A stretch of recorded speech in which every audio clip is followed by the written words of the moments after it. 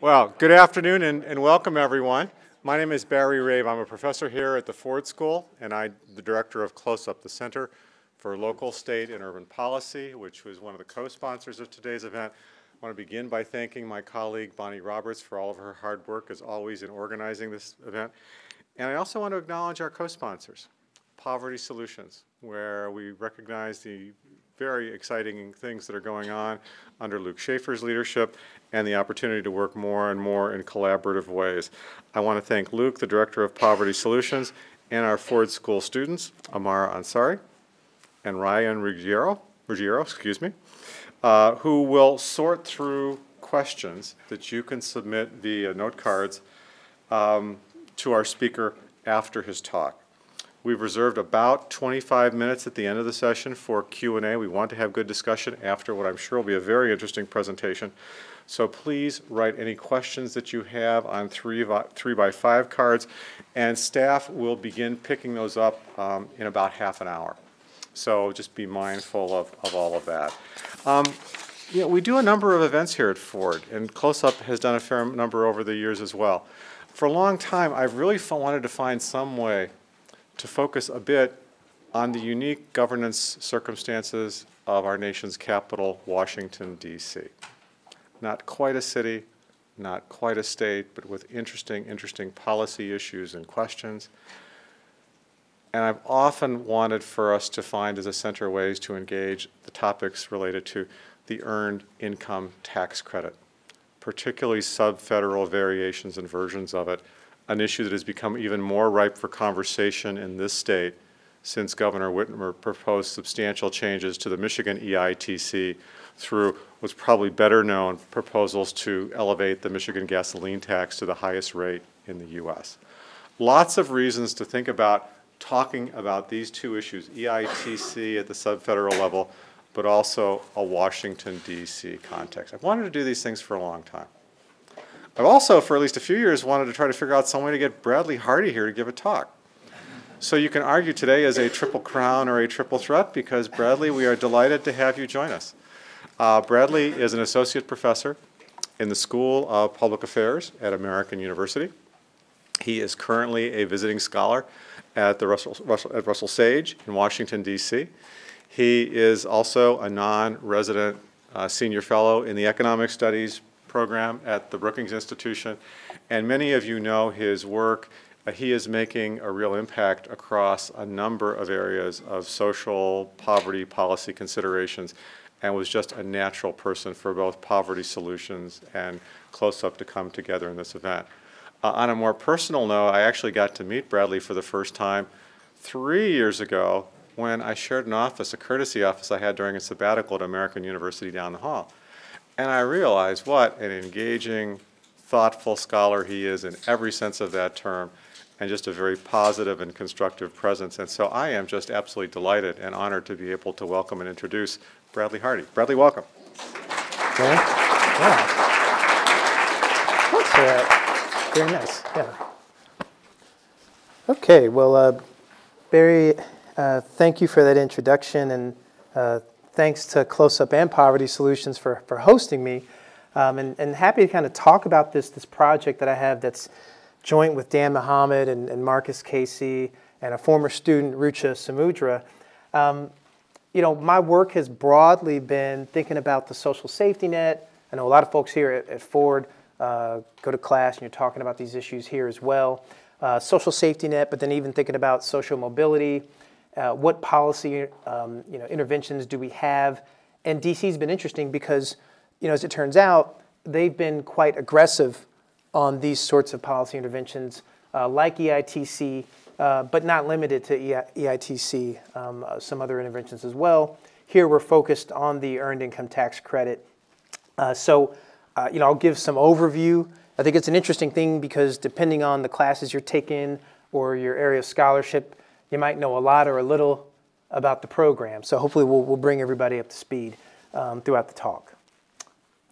Okay, and so you know the, the work uh, relies on administrative tax data in the city. So um, we're grateful to the government of uh, District of Columbia, as well as Upjohn Institute and Russell Sage for supporting the work. And um, this is kind of boilerplate that you know, I'm going to be prescriptive in here, um, talk about income inequality, talk about a lot of the trends we're seeing, but, um, you know, ne- neither I nor my colleagues are speaking for the, the government or, or, or Mayor Bowser, who, who just released her 2020 budget uh, in, in DC, and a lot of interesting issues there related to uh, homelessness and, and affordable housing policies. So, interesting stuff going on in the city. Okay, so uh, at the federal level, if you're a student of kind of poverty policy, social welfare policy, you know, you'd find that the, the federal EITC, uh, it's been around for a while, uh, but it's undergone sort of substantial expansions throughout the 80s and 90s and even 2000s, typically during tax reform uh, efforts. Uh, that's the federal level. The, the, the city enacted its own EITC in, in 2001, but it was only 10% of whatever federal credit uh, a worker would receive. Um, but it's ratcheted up over the 2000s uh, to equal 40% of whatever federal earned income tax credit uh, that the filer receives uh, today. Um, by our estimation, it, it makes it uh, the, the most generous uh, subnational credit. Um, there are some other states that have something akin to 40% on the docket, but it comes with a bunch of provisions that DC doesn't have. Um, we'll talk a bit more about this um, in, in a, in, a, couple of slides, but really you can think of the earned income tax credit as a wage subsidy that's just operating through the tax code. And so this is really making work pay a bit more, uh, creating positive incentives for folks uh, to work in the first place. And there's been a whole battery of labor economics and social policy research more or less showing that um, this subsidy, this, this tax credit, um, does in fact incentivize work, it, it, it boosts consumption, um, it, it, does have uh, quite a bit of benefit. Um, and then interestingly, you know, when you talk to people about what they think welfare is, even to this day, it's quite fascinating. 2019, and there are images um, that many citizens have of, of a very generous cash welfare state. Uh, and by and large, with, with maybe some, some state exceptions where there's more generosity, that hasn't been the case since about the mid to late 1990s. Um, uh, standard welfare or TANF goes to a, a bunch of important at times but non-cash uh, activities, maybe uh, you know, job assistance, job training, uh, even some child, sub- child care subsidies, uh, transportation subsidies. But other states are doing a lot of work in, in welfare on uh, marriage promotion, um, but oftentimes not putting money into the cash benefit. Interestingly, then, the earned income tax credit is actually the largest cash transfer that's going to go uh, to the poor in, in America. So, kind of a not well known fact. And you know, they talk about bearing the lead. Uh, one thing I would say, though, is that um, the one policy challenge, and folks at Ford would grapple with this, is that you only get this if you're working in the first place. So you can kind of imagine that there's a lot of benefits, there's a lot of buy in to this program politically. Um, a lot of different reasons people have, have tended to support the federal EITC. Uh, but nonetheless, this is part of a general result that we see um, more and more sort of general welfare benefits going to folks who are maybe poor and near poor, uh, and, and, in many instances, fewer benefits going to folks who are in deep poverty. Uh, and so there's folks like, like Luke who've done a lot of this interesting work thinking about folks who are well below the, the federal poverty line, right? Um, so that's, a, that's an interesting uh, fact to kind of carry with you as we, we move forward. Um, we want to understand whether or not the, uh, the, the city state intervention uh, combined to um, lower inequality with the federal EITC. So you've got this DC earned income tax credit, you've got the federal EITC that's being received concurrently. Does it reduce inequality? And then we also wanted to understand if we, we saw any evidence of increased earnings and incomes. Um, I'm going to focus the limited time we have here, um, really thinking through the, the inequality results we have. And then, kind of in closing, I'm going to tell you about sort of what we're thinking about in terms of income growth over the, over the 2000s. Um,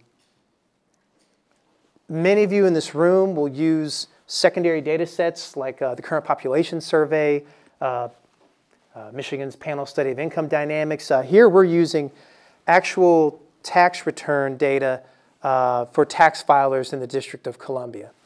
And so this has you know, a bunch of uh, interesting opportunities, but also some limitations. And, and so, you know, we do find pretty substantial post EITC reduction in inequality. It's a good news.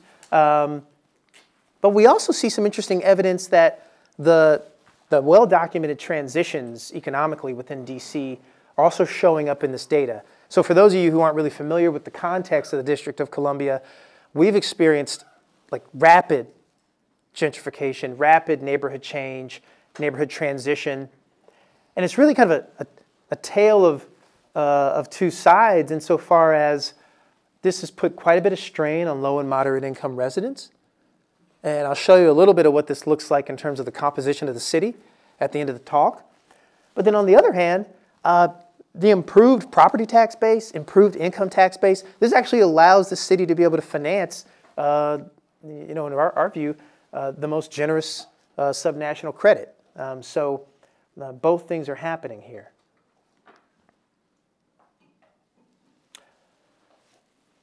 So it's interesting, you know, I've taken aside. Now it's interesting, you know, for me, talking about tax policy is like, it's like really exhilarating, right? Uh, I love it.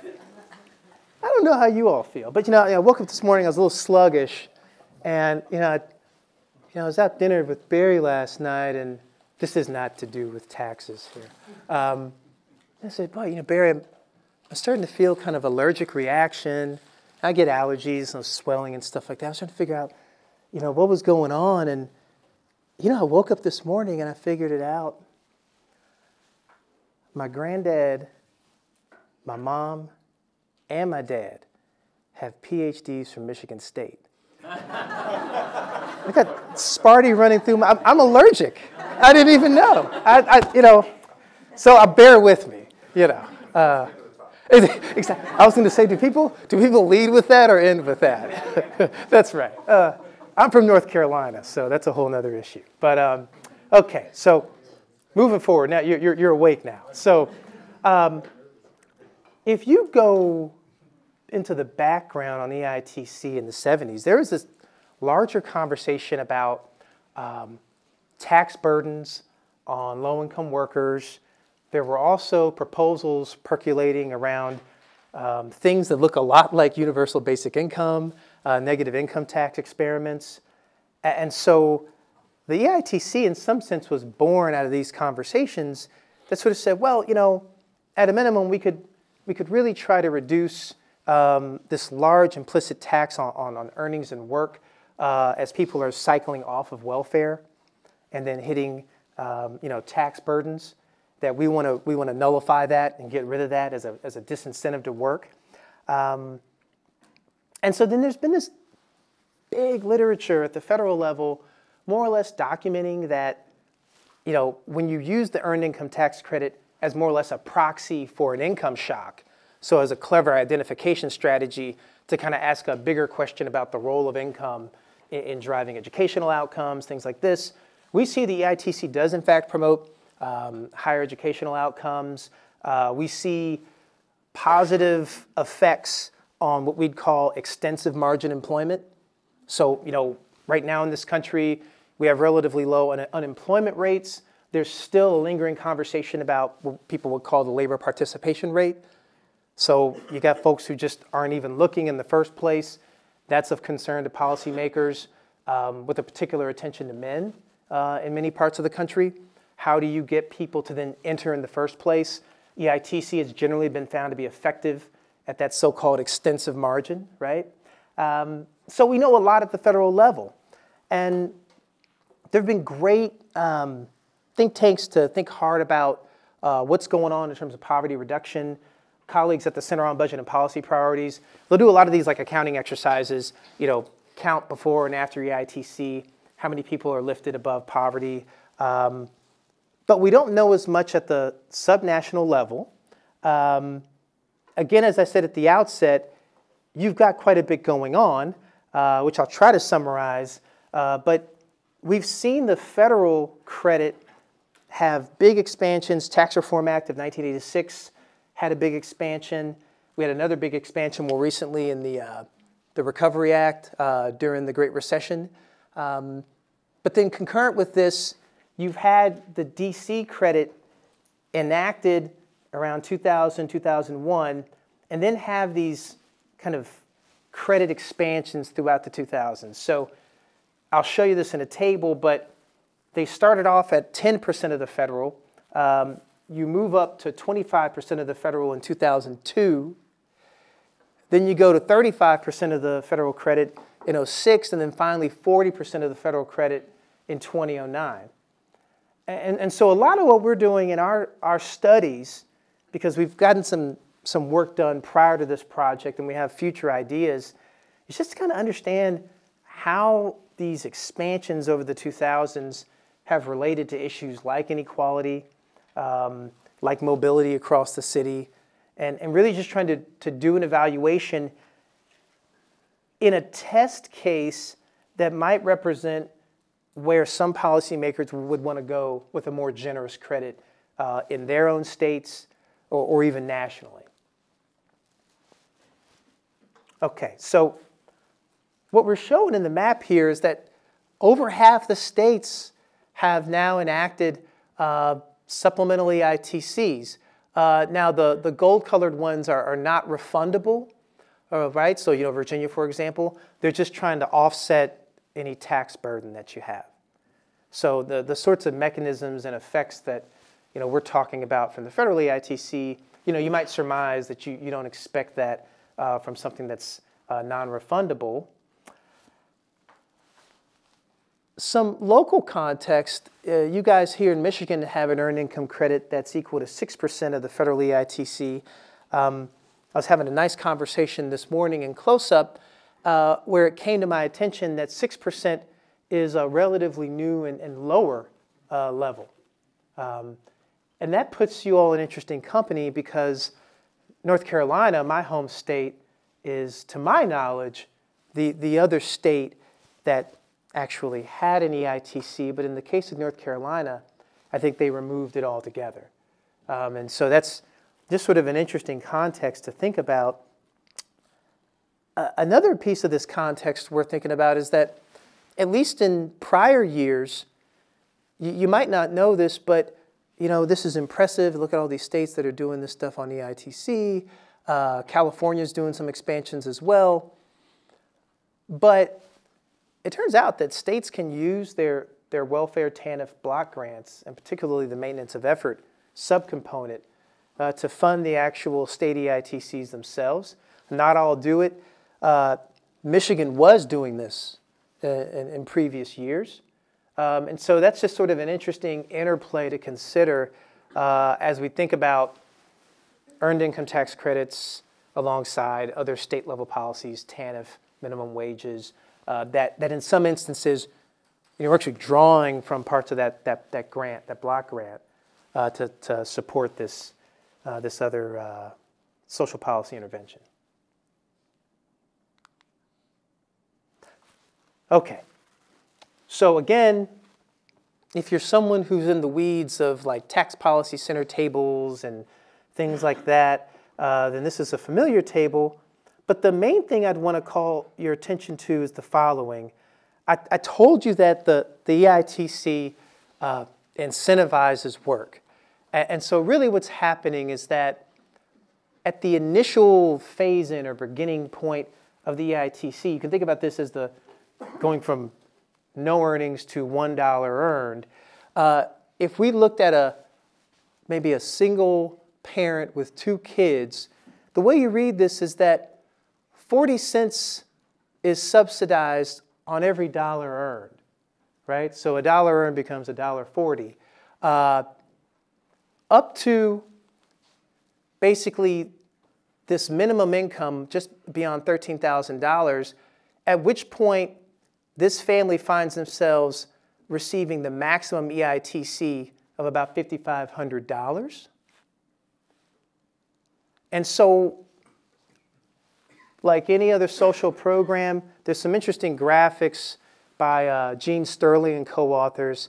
They basically show that with our, our, our programs, um, these all have so-called benefit reduction rates. We phase out the program. Program doesn't go on indefinitely. What goes up must come down. And so the program phases out at around $18,000. Again, keep in mind this is tax year 2014. You lose 21 cents of this benefit for every dollar earned. And you'd see this same sort of phase out in other social programs, um, you know, SNAP, food stamp benefits, for example, right? But then importantly, if we look at this last dollar amount, uh, an interesting point here is that for better or worse, this is a program that's hitting families that are uh, perhaps what we think of as uh, near poor, uh, moderate income, uh, but, but not strictly poor uh, in the classic sense, right? So, so this is kind of how the program's designed. Uh, I think I have an interesting little slide in the back. Um, the classic stair-step figure for EITC. I'm not convinced if that's more or less um, helpful sometimes. Um, okay, so the policy context here is that you had really engaged nonprofit actors. Um, DC Fiscal Policy Institute, uh, they are kind of a subset of the Center on Budget and Policy Priorities. And the DCFPI was instrumental in pushing the DC Council and the mayor at the time, uh, Anthony Williams, to enact uh, a state EITC. And I think this context is important. You're public administration and policy students. Uh, these things don't just happen. Uh, there's actual political pressure uh, put forth on policymakers. And so this is just what I was talking about before, that you, you see the credit expanding over the 2000s. Um, it is worth noting that we do now have a uh, childless EITC credit that's been around for a couple years that, that's also not been evaluated.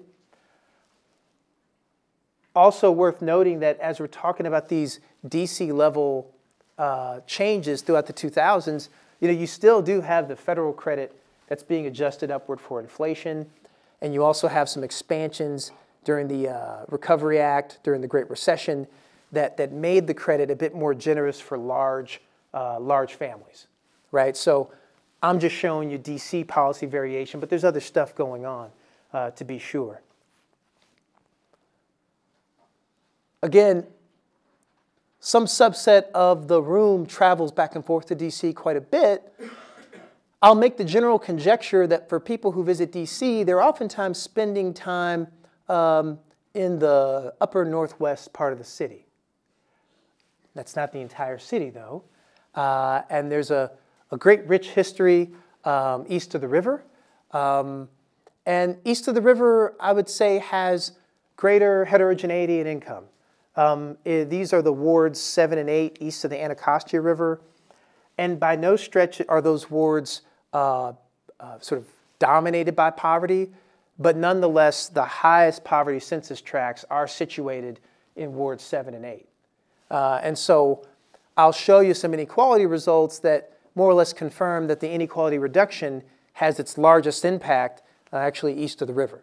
Um, and some other stuff having to do with where the, the composition of EITC filers uh, are seen to be shifting over the period. And, and I think largely it kind of follows what you might expect. Okay. So again, you know, if you put your secondary data hat on, um, you're, you're, thinking about drawing data on the population of interest. Uh, in this area, we've thought hard about what would sort of be thought of as the modal poverty population. And this has traditionally been uh, families headed by one adult. Typically, that adult's a, a woman. Um, and so we follow in the tradition of this literature to think hard about trying to isolate uh, these single parents. We also compare to, to married families or married pam, uh, parents. Again, it's a bit in the weeds, but for our purposes, it's not a secondary data set. So we're taking tax definitions and trying to kind of bring them in uh, to what we would think of in the secondary data world. So folks who are filing as household heads are, are typically these single parents, and we're going to refer to them as such uh, in our results. And then we're going to look at people who are married filing jointly. Um, two additional considerations that the research team uh, continues to grapple with uh, are that we, we're thinking about this as, um, on the one hand, looking at families that stay in the city all 14 years. And then we have another version of this data where we allow for people to be in and out of the sample over that time period. Um, part of the thinking on this is that uh, there's a whole literature that's worried about welfare migration um, more generally. So if I'm really generous in the District of Columbia and you live in Virginia, maybe you'd move to DC uh, to take advantage of the more generous social policy regime. Uh, my reading of that literature is that there's, there's very weak evidence that that's an actual problem. Um, policymakers who I've interacted with have more so voiced concerns about city level policies, maybe including um, DC's emergency shelter uh, law. Basically, particularly during cold, cold weather days, uh, if you are not housed, if you're homeless, you are guaranteed some, some housing benefit or provision. Uh, again, I don't know that there's actually evidence that there's serious welfare migration there, but, but nonetheless, in response to this, on the one hand, we, we try to think about people who are in the sample all 14 years, uh, but there's concerns that this is kind of overly restrictive, right? Um, these are the kind of things that you think about when you're doing this sort of research. Okay. So, a couple things to kind of call your attention to here. Um, like I just mentioned, this balanced versus unbalanced data, they really are different samples. Um, and importantly, if we call attention to the first two columns, um, the first point to make is that if you think about mean income and earnings that you would see at the national level, uh, at the mean and median, uh, DC looks quite a bit better.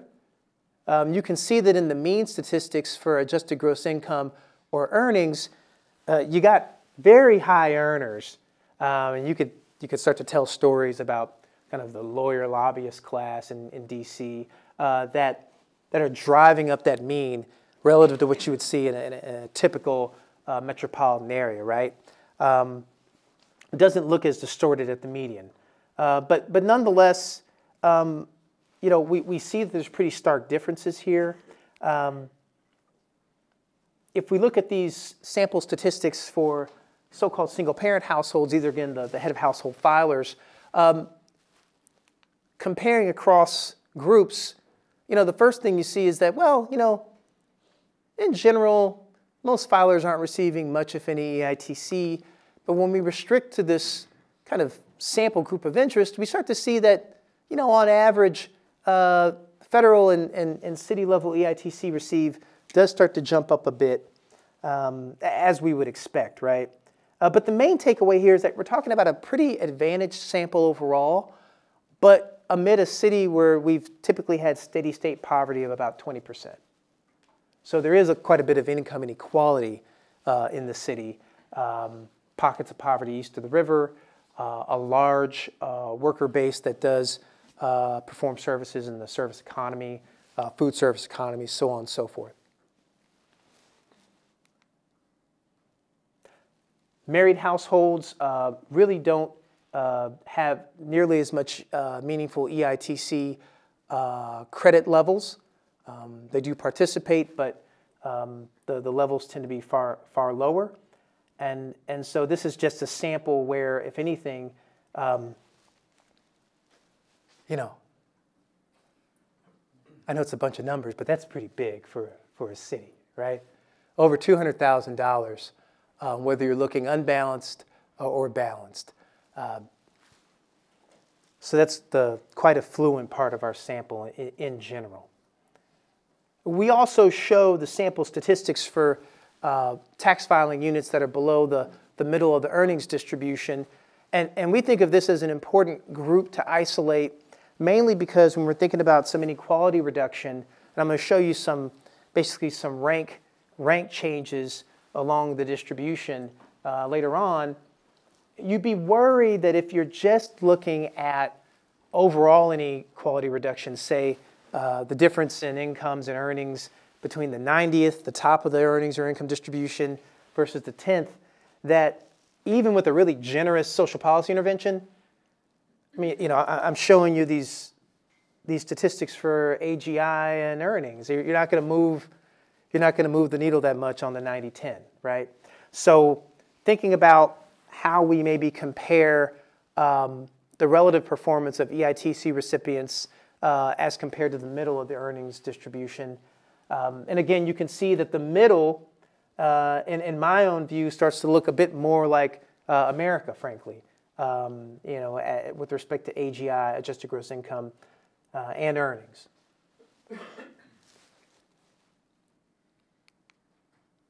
Okay. So, first off, one of the things we find just looking over the period is that uh, the EITC is providing something on the order of five to six thousand dollars of benefits if we kind of pool all the recipients together. Uh, and you know, thinking about what this means as a as a subset of overall earnings, it's it's quite substantial. And, and if you kind of call some attention to this orange bar running through.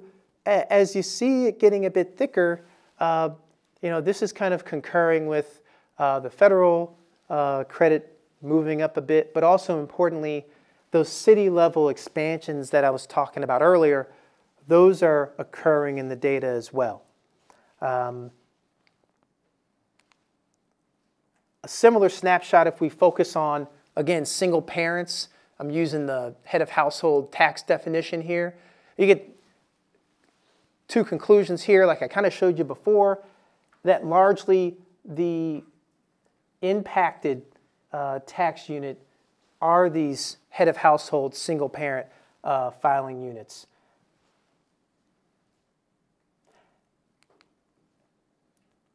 You know, there's something else I want to mention while I'm on this slide. Uh, and it'll, it'll come up a bit later, I think, but while I'm thinking about it, the, the tax data allow us to leverage a lot of interesting information, including across the city. Um, we do know from the American Community Survey, current population survey, um, that the, the modal EITC recipient uh, is a black woman with children who's working. Uh, this is consistent with the demographics of DC. DC just stopped being majority black uh, maybe within the last year or two. Um, it's still the largest racial group within the city. Uh, but one of the challenges with this uh, research endeavor using the tax data is that, you know, on the one hand, we have quite a bit of confidence in the earnings and incomes that people are, are reporting. But then on the other hand, we, we don't have uh, interesting demographics. Um, and so in a lot of my work, I'm using uh, the secondary data sets, and oftentimes I prefer those because you know, I care about the demographics. I care about maybe the reported educational attainment of the individuals and families. Um, you know, care about a whole range of other issues and uh, self-reported characteristics that the family might uh, bring to the surveyor, and, and that's um, that's not contained in this data. So there's things that we can do that are nice, uh, but there are limitations, and so um, you know, the research team we view this as you know, we're one piece of the puzzle, kind of trying to triangulate around what's going on in DC. We can't do it with one data set, though. Uh, so this is just one piece of the puzzle. Uh, here, we're following a, uh, a method uh, that uh, Pat Bayer and Kerwin Charles implemented in looking at basically cross-race earnings inequality. And basically here, what we want to do is think about uh, EITC recipients and put them in the bins with respect to people who are receiving uh, anywhere from the smallest to the largest EITC credits. And we want to understand uh, whether and how that EITC credit move them, moves them up the rank uh, if we were to list people from lowest earner uh, to highest earner, right? And so in this exercise, um, we're doing it for our two data sets of interest, the balanced and the unbalanced. And as I was saying before, these really are different samples. Uh, and so in this case, what I'd like to call your attention to is that uh, for the largest EITC credit, uh, on average, you're moving people three percentile points in the balanced panel. These are folks who are forced to live in the city in our data uh, kind of criterion, 14 out of 14 years. And then in the unbalanced panel, we're actually moving them five percentile points. Um, and, and so, you know, this is non-trivial, and yet at the same time, uh, as I mentioned before, we might still think that that's not quite the right uh, distribution to think about in terms of whether and how the, the EITC is moving people up that earnings rank. And so when we just cut that sample off to being at or below 50% of the earnings distribution, um, when we really focus attention on folks who are receiving the largest EITCs, uh, we see anywhere from a 5 percentile point move to 11 percentile point move uh, up the earnings distribution. And so again, part of what we're trying to get a feel for in this exercise is just the different ways in which the EITC is having this uh, inequality reduction, right? And so clearly what's happening here then is that you have people who are receiving generous EITCs who are then moving a bit above people who are just outside of qualifying for the credit, right? Um, and all the while, as you're listening to me present this, it's worthwhile considering that unlike, say, a monthly cash benefit or monthly SNAP benefit, I haven't done my taxes yet, actually. You get it at tax time. And you might get a little bit before tax time if you use a tax preparation service, uh, but this is lumpy. And so if you're thinking about consumption smoothing, thinking about sort of broader sort of well-being implications, uh, even as I'm, I'm showing you some, I think, uh, you know, important inequality reductions, it, it's not necessarily clear if we prefer the lumpy to the smooth. Um, there's been some interesting qualitative research that's documented the fact that in many instances, families love receiving the credit as a lump sum, and that it feels like precautionary savings. It's an opportunity to, frankly, feel like you did save, pay down some important expenses. Um, so there's been a lot of good work in this area, kind of thinking about whether it's actually better to think about this um, in some sort of smoothed out context. Maybe we'll talk about that a bit more in the, in the Q&A. Um, okay, so I'm going to show you now what are more like sort of standard inequality uh, trend figures. A lot of people would put up a, uh, the Gini coefficient or a Theil. Uh, you know, this is a bit more transparent, just comparing uh, earnings at the 50th uh, middle of the income di earnings distribution relative to the 10th percentile of the earnings distribution, doing the 50th percentile of the earnings distribution relative to the 25th. And so if we call attention to the, to the blue trend, the top one, comparing blue to orange is just thinking about this 50-10 ratio before accounting for the DC and federal EITC and then after. So like this is doing what you expect it to do. There's an inequality reduction. It might be a bit subtle from the seats, but the inequality reduction um, starts off and holds at around 15%, but then that, that gap closes to more like 12% by the end of the period. Uh, and then importantly, you see some evidence uh, of some overall trend increase in, in inequality occurring. Note too that the reduction from 50 to 25 pre and post EITC is you know, pretty trivial, about 2%.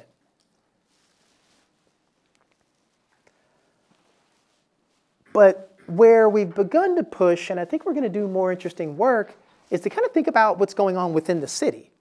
And I think there's a lot of work that is now acknowledging, whether it's uh, the Opportunity Insights Group, they're not the first, just acknowledging substantial heterogeneity or, or, sort of diversity within an area. You know, it's very knee-jerk sometimes to talk about, you know, the North versus the South, or, you know, uh, Durham, North Carolina versus Fayetteville, where Fort Bragg is. But, you know, actually some of the interesting variation is within Durham County. uh, pockets of poverty near downtown, not far from Duke University. Um, parts of suburban Durham that are, that are quite affluent and have uh, residents who work in the Research Triangle Park. Um, these differences matter. In DC, they matter. Uh, we see uh, inequality reduction from the earned income credit in what is really the more affluent part of DC, the, the west part, uh, and also pool some parts of northeast DC. Uh, but we still see the, the overall trend increase in inequality. When we compare to those wards seven and eight that I highlighted at the outset, a couple things jump out. First of all, uh, in this pretty transparent measure of inequality, you learn that one, inequality is just lower overall in these poor, relatively poorer, or you know, moderate income parts uh, of the city. The post-tax or post-EITC inequality reduction is also larger in sort of absolute uh, percentage terms as well. That's both the case for the 50-10 and the 50-25. So, you know, in a sense, I told you that this was a big uh, refundable tax credit. Um, in, in some respects, this is doing what you might expect it to do. Now, again, another piece running in the background is that, you know, I described wards 7 and 8 as poorer. Uh, on the other hand, wards 7 and 8 is likely to be where many of us in this room could afford a house, uh, maybe, if we were to try to move to DC right now. So you've got a lot of economic transition occurring uh, in that side of the city. Um, and you got to be careful painting with too wide of a brush. But nonetheless, there are, are certainly census tracts that have relatively deep and persistent uh, poverty. Okay, so you know I, I want to close out with uh, two additional figures here. Um, there's a report that came out uh, just today in the Washington Post, uh, more or less saying what I think a lot of us social scientists have known, which is that DC's experienced quite a bit of neighborhood transition, um, and in fact, it's just heightened over the last couple of years. Uh, co-author Dan Mohammed uh, put together this really interesting graphic, and the main point to make is that at the outset of the earned income tax credit in 2001, you still saw quite a bit of EITC use in wards 7 and 8. This is a bit subtle here, but if you look at by the end of the period, what you'll notice is that even more EITC use has moved uh, east of the river. And so again, this is kind of consistent with what you would think, which is that if people do want to stay in DC, uh, they are moving to the relatively more affordable side of the city. This also has all sorts of interesting implications about um, sort of geographic uh, access to jobs. Uh, when most of you visit DC, uh, you will stay in hotels and eat in restaurants that are more likely to be in the west, uh, maybe northeastern part of the city. Uh, so a lot of the job opportunities are going to be across town as well. So we see this shifting uh, of low and moderate incomes. Um, the last thing I'll show you is that the likelihood of actually receiving the EITC has dropped from almost 20% uh, likelihood to just over maybe 12%. So again, this is sort of evidence that in the overall sample, a lower and lower proportion of the filing universe are even qualifying for this in the first place. And so this is also some descriptive evidence. Uh, again, uh, it doesn't paint the whole picture, but it's certainly consistent with the notion that just the overall composition of the city is changing quite a bit, and it's something to keep an eye on. This is actually an interesting one that the team kind of wants to push a bit further on. Okay, so we talked about inequality and the role of the larger EITC as a result of DC supplement. Um, this is just inside of $9,000 at the max uh, back in 2014. And I showed you that we did see some post-EITC inequality reduction. Um, but nonetheless, it's rising throughout the city overall. Uh, in terms of some future work that we're thinking about, uh, you know, at the outset, I kind of described for you that we really had these two stark choices that we made. Uh, for folks who were concerned about welfare migration, we made this decision to restrict uh, the sample to people who were in 14 out of 14 years. Um, on the one hand, that might also be a bit too restrictive. So we also have some samples where we basically don't impose that mobility restriction. Um, so we're thinking about something in the middle. And I was actually talking with Luke about this. Uh, maybe it's five years, maybe it's six years in sample. Uh, but we're playing with these, um, uh, these sorts of uh, decisions. Uh, the other piece is that, you know, we've got a series of regression models um, that we've been working with um, for months and months now. Uh, but we've really been thinking about hard, sort of, you know, what do we think we're picking up?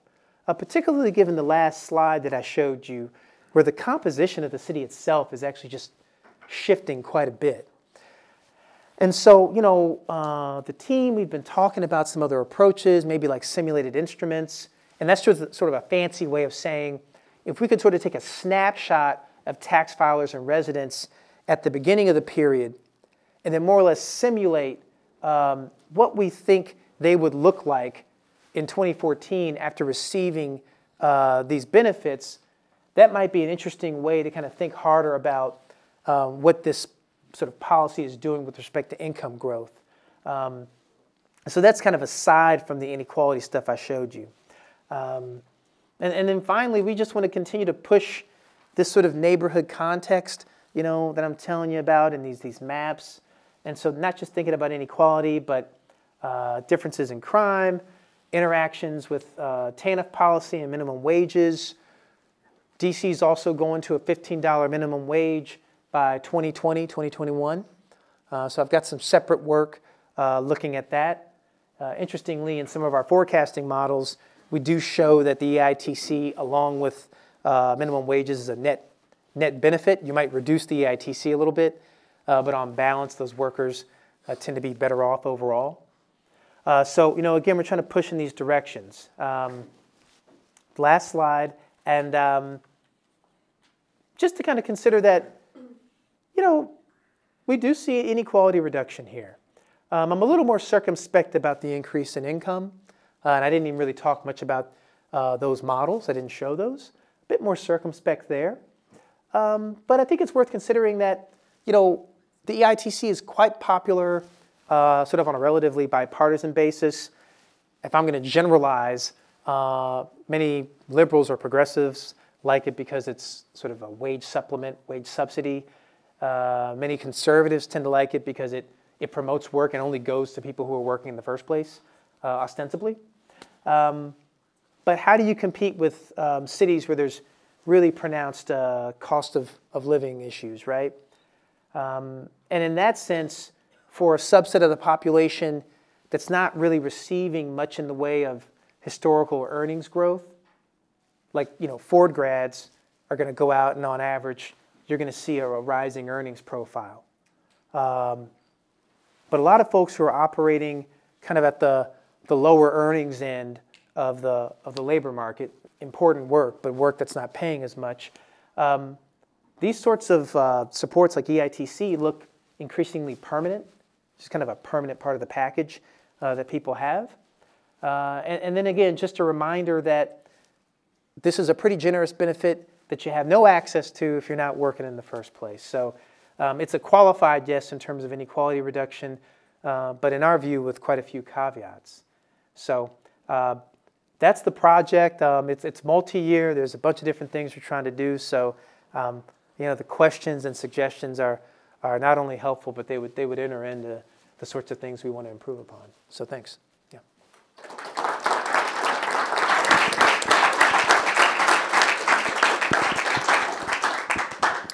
Thank you so much uh, for coming and speaking to us today, and thank you to CLOSUP and Poverty Solutions for hosting this event. Um, my name is Amara, and I'm a graduating Master's in Public Policy student here at the University of Michigan. And we've got some really interesting questions from the audience, so. I think we're going to move on to Q&A. Okay. So the first question that the audience has posed to you is if you have any data on how many tax filers who would actually be qualified for the EITC but end up not taking advantage of it. Yep, it's a good question. So I do not have that number for the District of Columbia, but nationally there's been some good work. I want to say it, Maggie Jones Yeah, so Maggie Jones has this work. I'm looking at uh, Kathy Michelmore, who does a lot of EITC work also, among others. Uh, but I think it's around 80% that, that actually are participating. Um, and that's at the national level. And if you think of the EITC as a social program, and that could be your own sort of argument, it's administered through the tax system, but 80% looks you know, quite good relative to other, other welfare programs. Yeah. Hi, my name is Ryan Ruggiero. I'm a first year Master Public Policy student. Uh, next question. There's evidence of a lot of low income workers in Michigan that they don't know they're eligible for the state's EITC. Yep. Would there be any way to use the nudge movement to have these people default into claiming the EITC? That's interesting. So, you know, again, this is, I'm going to answer kind of like the question I wish I was asked here, right? So, I think there's a lot of people who would wonder about a regime where we had a tax system that really kind of automatically took care of this for people. So, you know, just in general, like you think about being automated into savings, um, a tax system where you, you weren't really having to go in and make that, that filing choice. I would say that for Michigan and the other states, there are interesting questions about nonprofit outreach. So many of you are going to go to work in nonprofits. Uh, many of the nonprofits in DC uh, engage in very aggressive outreach, billboards on buses, so on and so forth, free tax preparation, uh, that, that moves the needle quite a bit on getting people to know that they, they qualify for this benefit. Um, another issue, uh, which again, it's, it's kind of a splashy topic right now, but to the degree that you have people who are engaged in, um, it's not 1099 work necessarily, but it's, it's contract work or whatever the form on the, you know, contract work, gig economy work, um, that is growing. I think it's easy to overstate the degree to which that's a factor, but you do have this complexity where, you know, on the one hand, if you have your, your big box employer who's sending you the forms, they might even have folks who are letting you know that you qualify for the EITC. If you're on your own, uh, you may or may not know this, be aware of it. So I think that's also kind of a running issue. Um, those are the sorts of things you'd want to confront uh, to get participation up. Yeah, that's a good question. Yeah. The next question. Um, at 6%, Michigan's EITC is very small yep. When compared with DC's 40%. Is there a low point cutoff where an EITC policy just isn't even worth it? Or are there other benefits to having an EITC policy, even if it falls at a lower rate? So, my own view, I mean, I think opinions would vary here, but my own view is that, I mean, if the EITC is offsetting tax liability for, for low and moderate wage workers, that still seems like sensible public policy. And if you have that architecture in place, I mean, I'm a fan of the, the policy. So, if you have that architecture in place, then it can be ratcheted up over time, right? So, you know, my own view is that look, there's a political economy process that we're operating within, and you guys were what 20% at one point, so you know, six is less than 20, but I think it still it still matters. Um, I do think that it starts to raise an interesting question about uh, a program that's now defunct called Advance EITC, so Advanced EITC was giving filers the option to receive the earned income credit more or less on a monthly basis. Uh, my sense is that it wasn't heavily hyped. There wasn't a lot of information about it, so there's quite a bit of low participation. I mean, I'm painting with a wide brush here, but um, it might raise the question about whether or not at sufficiently high or low levels, do some families then maybe prefer, figure, well, you know, this isn't that big of a bump at tax time. Maybe I do want to kind of smooth out on the order of, you know, 25 bucks a month or something like that. Maybe I'd rather have that. Uh, so I don't think six is too small to be meaningful. No, six is greater than zero. In your earlier map, some of the poorest states in the country, in Appalachia, West Virginia, Mississippi, for example, mm-hmm. uh, looked like they did not have the EITC um, credit at the state level. Do you know why that is? And as a follow-up, do you have any advice or best practices you would suggest to these states who would want to implement an EITC or states who would want to improve their credit?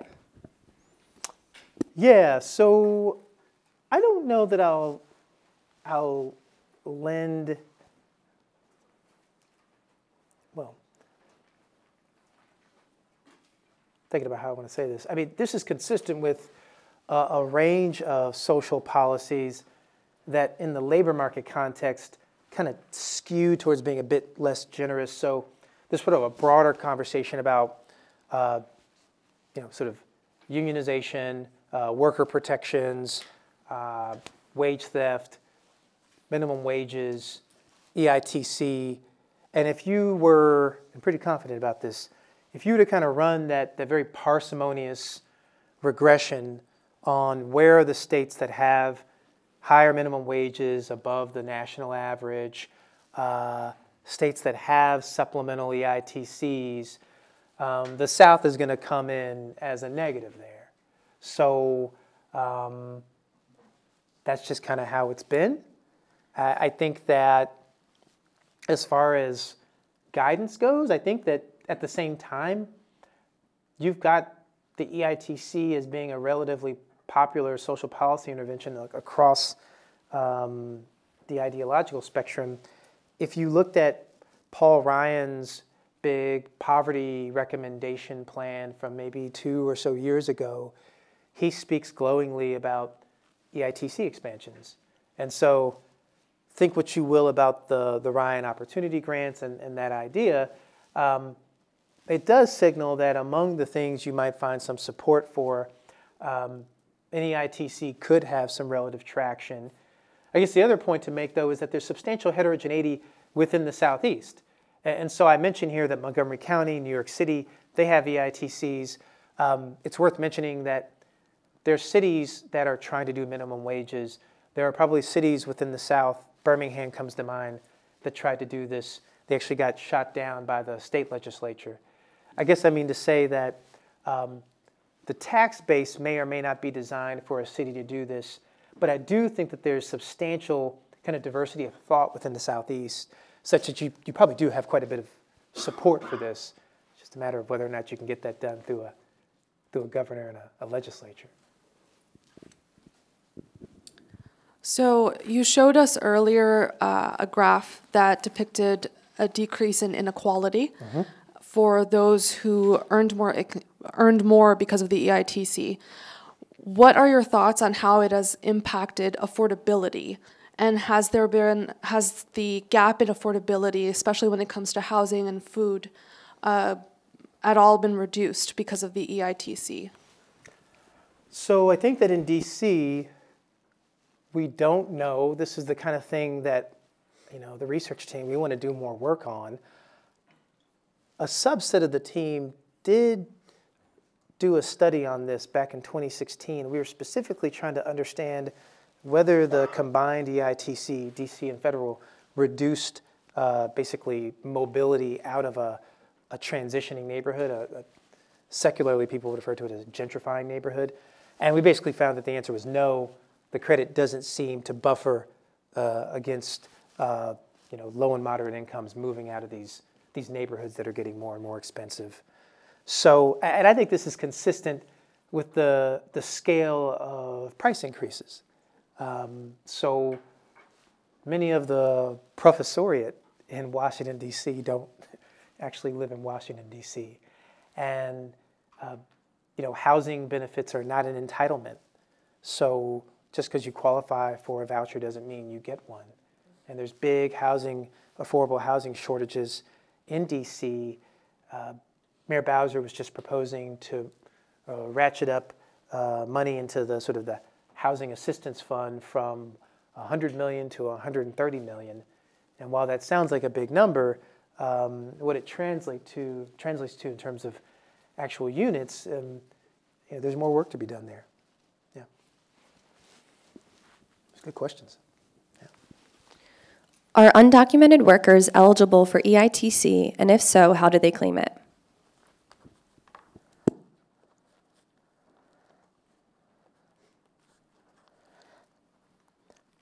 That is a good question that I am actually not sure about. And so that's one of those that thank you to the audience or someone online. I'm going to go back and look into that one. Um, I mean, from the purposes of the tax office, they need a valid uh, tax ID or social. So it's, you know, you can't rule out, in a sense, that that this is coming to folks. Um, but but I'm not sure. Yeah, it's a good question. DC recently eliminated its 60 month time limit for TANF reci- recipients. How should the city prioritize efforts to expand safety net programs like TANF and the EITC, which may serve different populations? Sure. Well, I mean, I think in part, DC and the other states. Let's let's let's pretend DC is a state right now. Uh, but DC and the other states are also constrained by federal TANF policy that hasn't done much to update the size of the actual block grant itself. Um, and so, if you think about what these block grants look like in 1996 dollars, that they've really not uh, gone up uh, much, if at all. They haven't had. I mean, we keep on pushing TANF reform, uh, you know, down the road a bit further, right, and kicking the can. So, you know, part of my response is that, you know, part of DC's ability to do more for its residents through these programs is also tied to having a, you know, a, a TANF program that kind of allows for the resources there. Uh, that said, I, I like the fact that relative to other states, DC tends to, in, in my view, put quite a bit of the, the block grant into actual cash assistance. Uh, kind of a, again, I was alluding to this earlier. Many states after 1996, maybe especially the late 90s, if you looked at the proportion of the block grant allocated to so called basic assistance, that's actual cash, uh, many states went from allocating, say, 70 or 80% to basic to well under maybe 20, 15%. Uh, nice work by uh, Marianne Bitler and Hilary Hoynes looking at this in a Hamilton paper. So I guess what I'm saying is I think DC is doing relatively well um, on TANF. I think they're doing relatively well on EITC. Uh, my own opinion is that kind of the missing link here is housing. And, and so this isn't a paper about housing, but the, the questioner, questioner rightly notes that um, how do these things all work together? Uh, I think, and there's four people here who would speak to this um, even more authoritatively. Um, in general, we're getting out of the business of um, running public housing in the U.S., uh, more voucher-based systems. Uh, many of the low, uh, low-income and affordable housing interventions work with, uh, you know, private developers, and so you get these deals where you had a, you had a, a plot of land where maybe 100 low-income workers uh, had housing, and with the new development, oftentimes it'll be some some subcomponent of that, maybe maybe 30, maybe 50, right? So you worry about that sort of piece. So, you know, if I had to wave a wand, I'd say um, big focus on affordable housing would, would be key. Single mothers experience meaningful costs associated with working, which, as we know, is a requirement for the E EITC, including transportation and especially childcare costs, which are very high.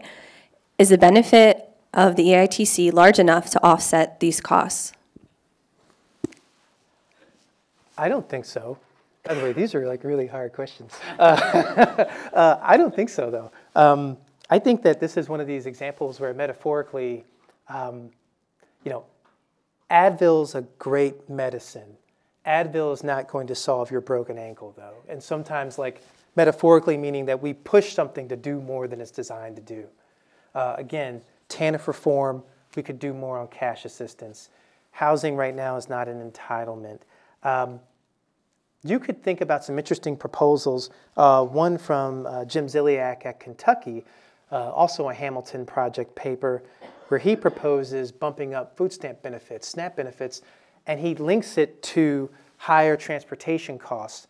That the, the food basket and calculations for how we design SNAP is really thought of in a time period when more families, poor and non poor, were going to do more and more food preparation at home.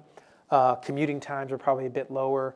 I mean, stylized uh, kind of fact in DC, there's been some great kind of research and reporting uh, looking at you know people who ride this popular bus line, uh, 16th Street, and these are kind of second and third shift workers, and they document how uh, folks are taking two and even three hours to get home in Maryland. Uh, so I think that the answer is no, the EITC, in my opinion, isn't enough, but there's other programs that could be beefed up uh, to maybe meet that need. Yeah. Given that um, the EITC necessitates that the beneficiary work, it often leaves out people who often don't have the resources to find work and by extension cannot receive EITC benefits. Are there ways that we can improve on EITC or rebrand it, reframe it, restructure it so that those who consistently look for employment opportunities but don't find them uh, can receive the help they need? Yeah, no, I think that's a great question. And again, uh, you all were here as witnesses. This is not a talk about TANF, but nonetheless, I do think this is another case where cash welfare pro, the traditional welfare program, temporary assistance for needy families, that question to me really kind of maps into things that that program can do. So, for example, what are the structures in place to allow for and provide for job training? Right now, it's something like typically 12 months uh, of education uh, can be counted as a work activity. And if you start to think about some of the certificates that people could sort of actionably get into to increase their work readiness for uh, you know sort of a high quality job, some of them might take a bit more than 12 months. Uh, what type of safety net do we provide for job training? Right now, believe it or not, you don't have a lot of coordination in all states between what's called WIOA uh, within the Department of Labor. They provide sort of educational opportunities and job training for uh, disadvantaged workers, economically, economically disadvantaged workers. You don't have a lot of coordination with TANF in some states. And, you know, I've argued this in a little policy brief from a few years ago. If you think about your own story, you or maybe some of the friends you had did benefit from uh, scholarships, maybe family and friends, who'd even provide some safety net uh, while you were training and upgrading your skills. Maybe you have access to student loans. So I, I think that part of the question about how we get people who are not working into work involves bringing the bear the TANF program, using that in innovative ways. Um, and there's also been some interesting work, um, including some stuff out of AEI, uh, where the policy prescriptions for TANF even include jobs of last resort. So, you know, there's been a lot of talk about federal job guarantees, among other kind of progressive policy interventions.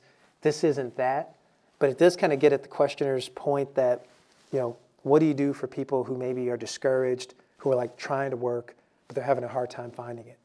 Um, so I think it's a great question. Thank you so much for all your responses today. Uh, we have one final question. Okay, okay. What are possible drivers of increasing inequality starting in 2009 in the balanced panel?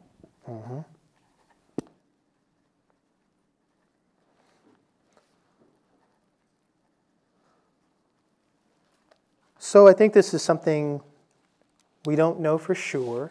Uh, if you think about 2009 nationally, uh, you have kind of the core of the big economic recession uh, that was occurring in the country. And yet, DC, um, due in part to federal stimulus, uh, really didn't experience the recession uh, in that way, uh, at least in the city.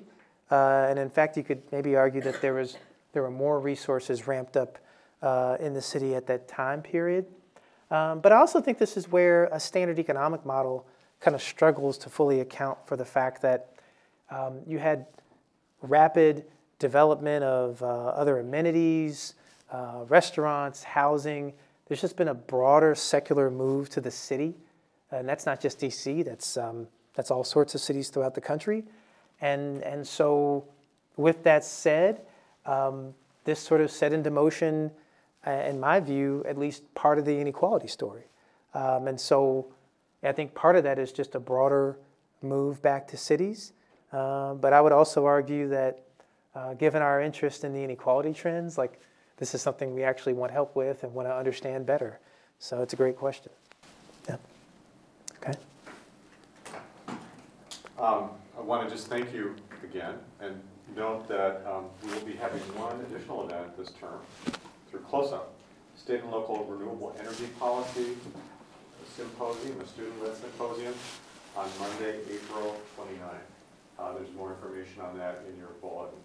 That said, uh, except for the Sparty reference, I really I couldn't help so it. much for joining us on this illuminating issue, especially as this issue really picks up in Michigan in some very interesting ways. We'll be in conversation as we go forward. Yeah. Bradley, thanks for being with us. Yeah, thank you all. Yeah, thank you. Yeah.